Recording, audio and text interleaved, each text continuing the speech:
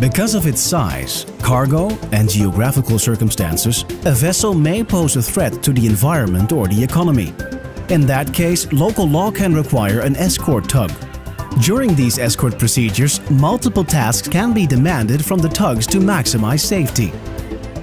The working principles of an 80-ton stern drive tug and an 80-tons rotor tug differ substantially. The difference between a rotor tug and a stern drive is immediately visible when the tug is required to apply braking force on a vessel sailing at 10 knots. This maneuver is called the transverse arrest. At a towline angle of 0 degrees, the stern drive is capable of delivering 80 tons of braking power. The rotor tug, with its three maneuverable thrusters, can deliver 95 tons of braking power. The rotor tug has significant advantages from its patented configuration. It can apply both steering and braking forces onto the escorted tanker at the same time. While using indirect escorting with a towing line angle of 15 degrees, the rotor tug simultaneously delivers 106 tons of braking power and 30 tons of steering power in the desired direction. The stern drive tug delivers 100 tons of braking force and a maximum of 10 ton steering force while indirect towing on an 8 degree towing line angle. Changing this angle will result in a drastic change of applied forces. In case of an emergency, the stern drive tug needs to make a choice to either brake or steer. But there's another issue that may cause a possible safety threat. A stern drive tug in maximum braking position has a heeling angle of approximately 12.5 degrees. This means that it is at the turning point of deck immersion, which may lead to a significant loss of stability. In comparison, the rotor tug will only have a heeling angle of approximately 8 degrees in maximum braking position. At a 45 degrees towline angle, a stern drive can apply 50 tons of braking force and a steering force of 40 tons at the tow line. In this position, the heeling angle is 12.5 degrees of the stern drive, which is again close to deck immersion. A rotor tug can deliver 100 tons of braking force and 56 tons of steering force while operating under a 30 degree towing line angle.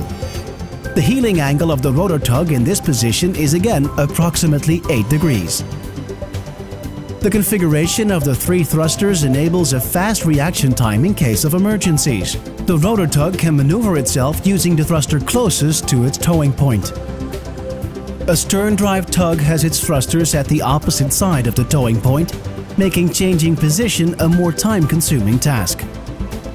The 80-ton stern drive reaches the highest steering forces operating at a 90-degree towing line angle where it can apply 52 tons of steering power only. No braking force can be delivered onto the escorted vessel in this position. The stern drive tug needs its thrusters to counteract the capsizing moment created at this towline angle. When this counter effect suddenly disappears, the heeling angle may bring the tug in danger of capsizing. Reaction time to position the stern drive tug in a maximum steering position is time consuming. The 80 tons rotor tug can swiftly reposition to a 40 degree towing line angle where it applies 67 tons of steering force while still being able to apply the substantial braking force of 85 tons. Because of its unique position called combined arrest, the tugboat creates a very safe escort situation with a heeling angle of approximately 4 degrees only. The rotor tug is in full control of the assisted vessel within 15 till 40 degrees towline angle, resulting in braking and steering at the same time, minimizing emergency response time. There is never slack in the tow line. A slack tow line can result in peak forces once sudden forces are applied. The rotor tug not only has excellent escort capabilities, it also has significant advantages while performing ship handling operations. A stern drive needs to reposition itself before being able to apply forces on the tow line. She will exceed the width of the tanker during the berthing operation. For berthing a tanker, a connected stern drive tug needs a second vessel to apply sideway force at low speed. Therefore, a tanker or bulk carrier is often berthed with four tugs using the push-pull system. A rotor tug can apply indirect force to the towing line at 65 tons at zero speed, making any second tugboat unnecessary. This unique maneuver is called rotoring and is in fact pushing into the tow line when berthing the vessel. She is capable of indirect pushing and pulling upon request of the pilot, ensuring minimum response time. During this maneuver, the rotor tug will remain within the width of the vessel. The rotor tug can swiftly change its position and apply force to the towing line at all times and in any position.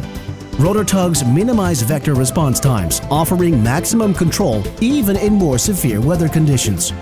No pushing in the side of the tanker is required anymore, and therefore there is no danger of damaging the hull of the assisted vessel.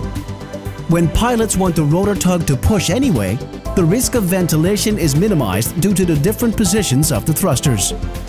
Ship handling duties can be performed with two tugs only most of the times, yet another advantage.